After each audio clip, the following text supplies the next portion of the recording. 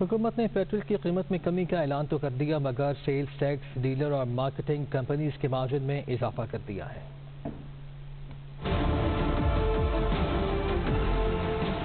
Petrol की कीमत में तवक्कुआत के मुताबिक कमी न होने की वजूहत सामने आ गईं। हुकूमत ने ऑयल मार्केटिंग कंपनीज़ के मार्जिन में इकहत्तर फ़ीसद इजाफा किया, जिसके बाद ऑयल मार्केटिंग कंपनीज़ का मार्जिन तीन रूपए अड़सठ पैसे तक पहुँच गया सेल टैक्स चार रूपए सात पैसे, इजाफे ऐसी छह रूपए इकतालीस पैसे कर दिया गया, जबकि पेट्रोल आरोप आई डीलर मार्जिन निन्यानवे पैसे इजाफे ऐसी चार रूपए नब्बे पैसे कर दिया गया है माहरीन के मुताबिक हुकूमत पेट्रोल की कीमत में चार रूपए मजीद कमी का ऐलान कर सकती थी, मगर टैक्स आमदन में इजाफे की खातिर पेट्रोल की कीमत में पाँच रुपए कमी का ऐलान किया गया। एक बार फिर